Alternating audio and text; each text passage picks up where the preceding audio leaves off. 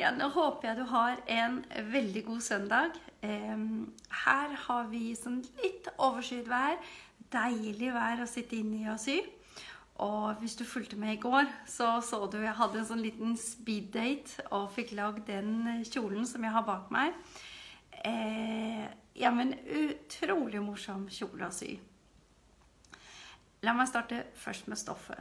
Eh, det er et stoff som jeg kjøpte i sommer, eh, og det er fra Stoff og Stil.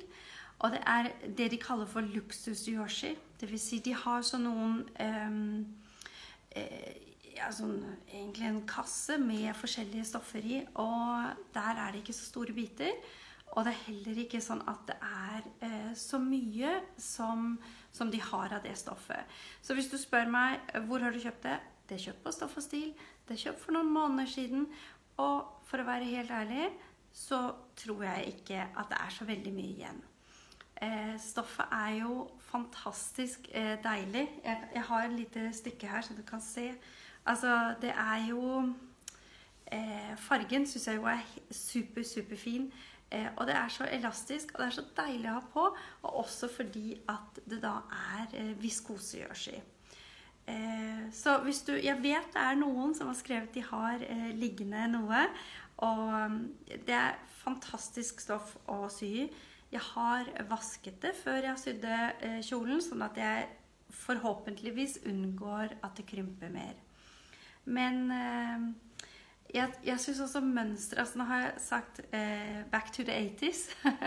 og det er både fordi at den, den blåfargen den minner meg veldig om 80-tallet. Og ja, jeg var jo en del av 80-tallet. Og ja, en gang 80-talls-babe. Alltid det.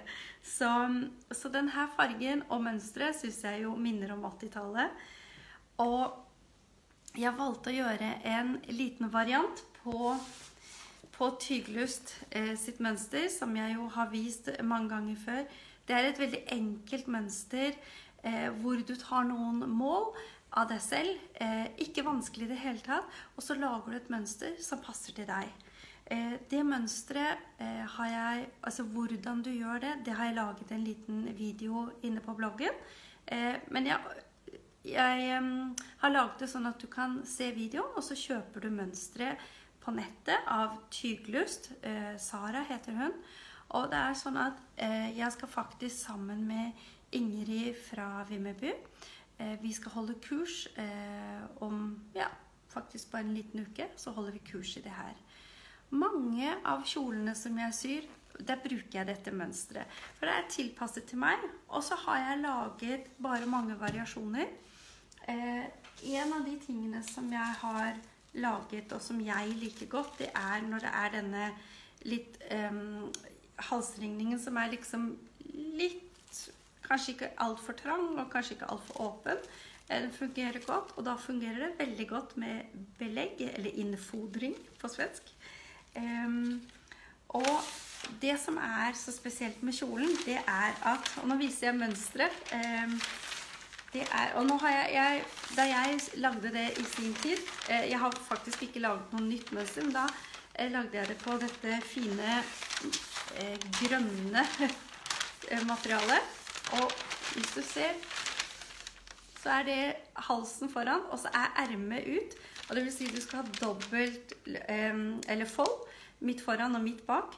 Så det som var litt eh, triksig for meg i forhold til den kjolen, det var at jeg hadde jo bare en liten ehm, Jeg hadde faktisk ikke så mye stoff, så jeg ble nødt til å trylle litt. Og ehm, da jeg skulle legge hodet litt i bløt for å finne en løsning, så var det jo at disse puffermene kom til. Jeg har også litt kraftige overarmer.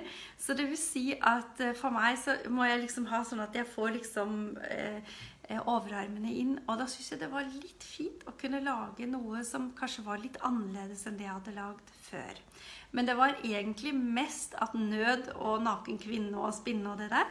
Så da ble jeg nødt til å trylle litt. Og hvis du tenker Altså, jeg skal lage Jeg har tatt noen bilder nå, så det kommer et blogginnlegg plutselig. Men hvis du har lyst til å se, så er det jo sånn at disse eh, Ermene kunne gå ned et stykke, og så har jeg lagd små legg Eh, og så har jeg faktisk bare lagd et erme som er sånn relativt trangt, som jeg både kan skyve litt opp, og som jeg kan ha ned. Eh, og dette gjør at du får en slags sånn litt lite pufferme. Ikke for stort, fordi det er liksom Det syns jeg ikke er så, så kult lenger.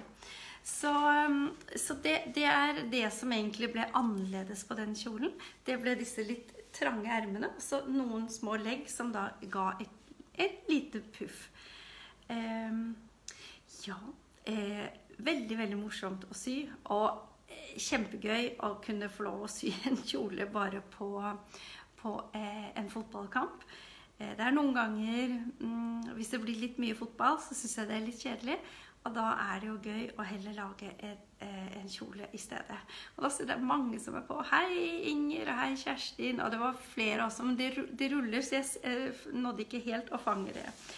Men eh, kjolen er jo også da mer eller mindre sydd på overlocken, Så det er en rask og enkel måte å få seg en ny kjole. Og eh, hvis man har stoff som man kanskje tenker eh, det er litt fint, eller det er altså, litt kult, så er det jo også en, en, veldig enkel modell, fordi det fremhever jo stoffet ganske mye. Så ja. Ja, men jeg tror egentlig det var det. Og så tror jeg at jeg skal kaste meg over og få lagd blogginnlegget. Eh, det, det, var veldig morsomt å sy kjolen, som sagt. Så um, hvis du ikke har noe å gjøre, hvis det er en fotballkamp Det er det jo i dag også. Ja, nå ser det. Hei, Marianne. Hei, Charlotte. Masse mennesker som er på her på søndagen. Men som sagt, det tar kun en fotballkamp hvis du allerede har laget ditt eget mønster. Hvis ikke, så ta en titt og se hvordan jeg har laget mønsteret, og hvordan du selv kan tilpasse til dine egne mål. Yes. Ja, men da tror jeg at jeg vil ønske deg en fortsatt god søndag. Og som du ser, jeg sitter badet i solskinn. Vi har fantastisk eh, vær akkurat i dag, så du må ha det riktig godt. Og så ses vi plutselig igjen. Hei, hei!